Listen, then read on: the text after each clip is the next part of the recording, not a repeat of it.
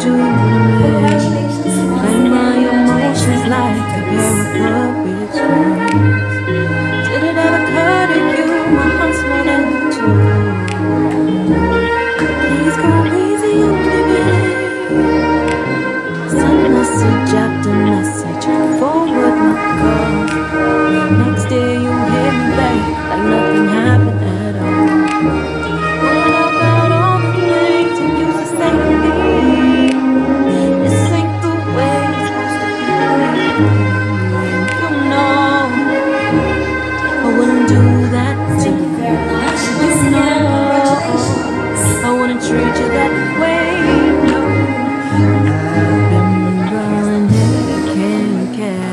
I would like to acknowledge also the presence of our SP member, Honorable Vanessa Quezon. Good afternoon. Welcome everyone. To introduce our guest speaker, let us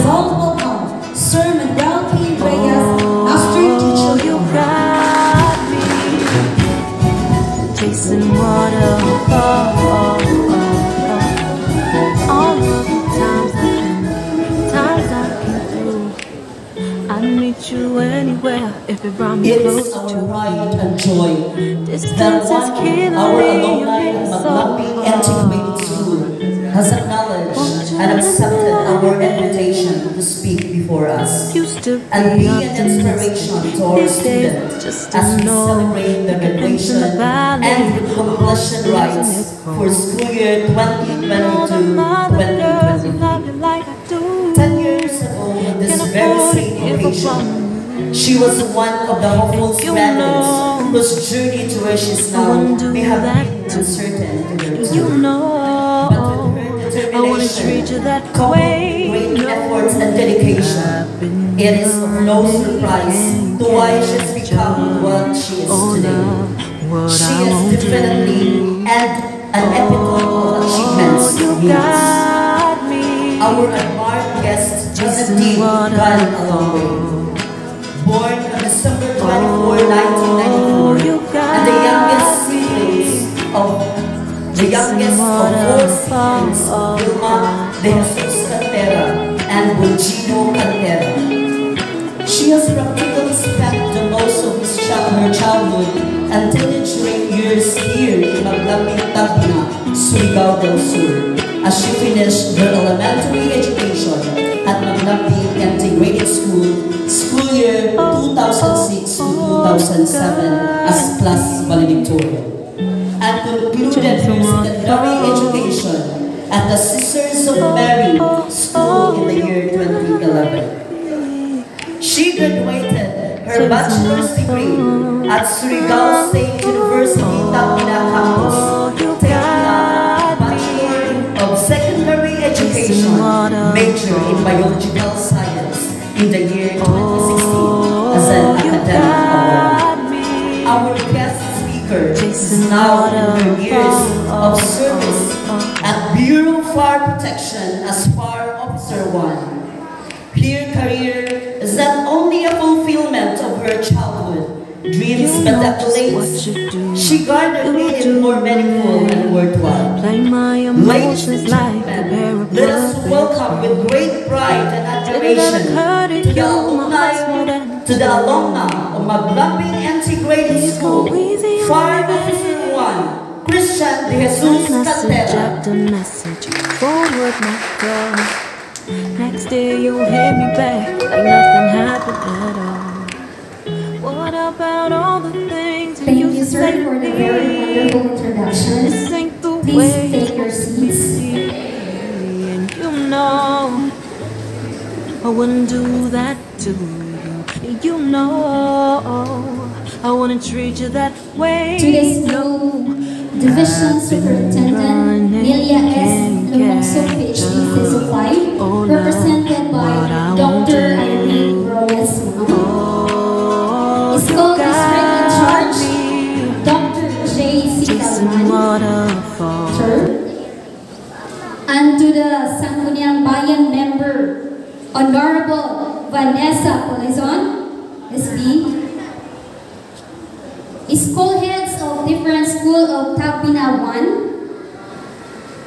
To the faculty and staff of Maglaping Integrated School, headed by Ma'am Maria Liza T. Pandola.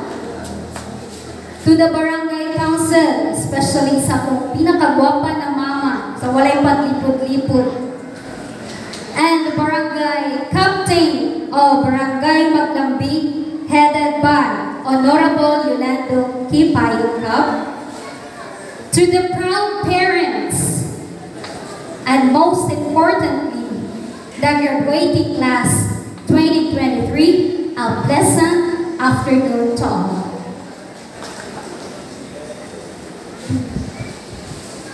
First of all, I thank God for the great opportunity to inspire and motivate motivate the graduates and completers.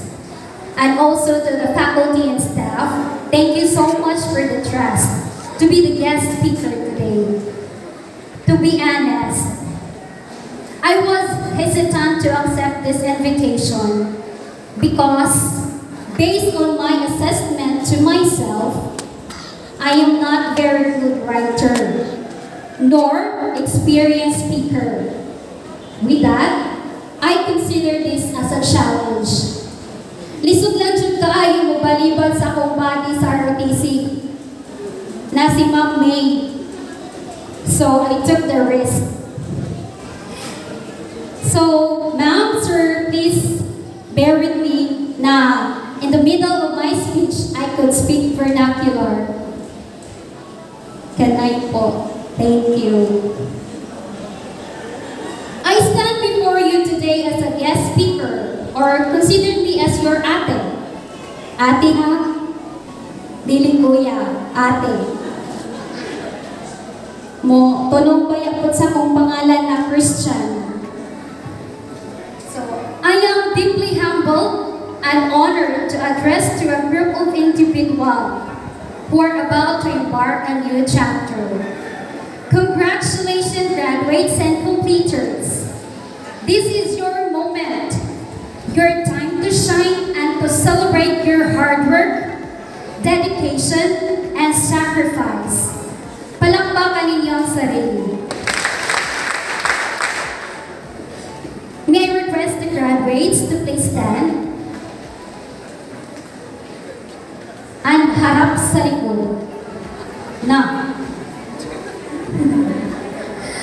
verify your parents sa likod. At kung nakita niyo na sila, kaway-kaway. Kaway. Parents responsible. Okay. Graduates and completers, please tell your mama and papa, Ma, Pa, mo graduate na ko. Salamat sa inyong suporta. Again, again. Nag-graduate na You po. ready? Go. Graduate na po. Graduate na po. Okay. Harap sa likod. O, sabay ko po. Now, why I am requesting you to do that simple gestures? Because I want you to appreciate your parents' effort for their unending support to educate and nurture your capabilities and talents as individual. For that, palampakan natin ang ating mga ina at ama. I would like to congratulate are of course the teachers. You have successfully done great responsibilities in bringing these children to what they are now. Your undying love, guidance, and commitment to teach these children have made great changes in their lives. I have a question. Grade 6, are you now ready to proceed to the next level? Okay, how about to the completers? Oh, mahina na. Completers, are you ready? Yes! Okay, good. And to the senior high school, are you ready? Yes! Okay, yes. Some of you maybe would answer, yes ma'am, excited, na cool ba, especially to the senior high school. Kay tungod, you will be dealing with a new environment. And maybe to the others would say, Ma'am, excited ko ma'am kay pasin bang classmate na ako, nga akong crush. Ay, namoy crush. Okay. Bitaw, so much for that. You should be always ready in any aspect. Take education with all your heart, mind, and spirit. The theme for this year, graduate ng K-12, hinubog ng matatag na edukasyon. K-12 graduates molded through a resilient educational foundation. It talks about resilient. In other words, pagiging matibay, firm, or strong.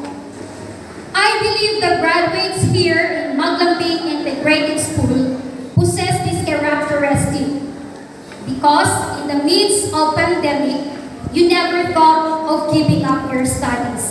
Instead, the learning process continued. Sabi nga sa kasabihan na walang mahirap sa taong may pangarap, isn't it? 11 years ago, since I graduated from high school, and 15 years from elementary, I could still recall when I had my. Makita na nako ang kalisod nila mama o papa. Wherein sometimes, ang among pag-eskwela nahimong lalis pa nila. Merely because of lack of income. My father was just a tricycle driver o mamakalay. And my mother is a housewife.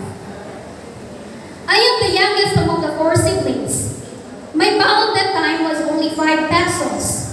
But maingnan pa usahay ni Mama, pangundang na lang mo o eskwela.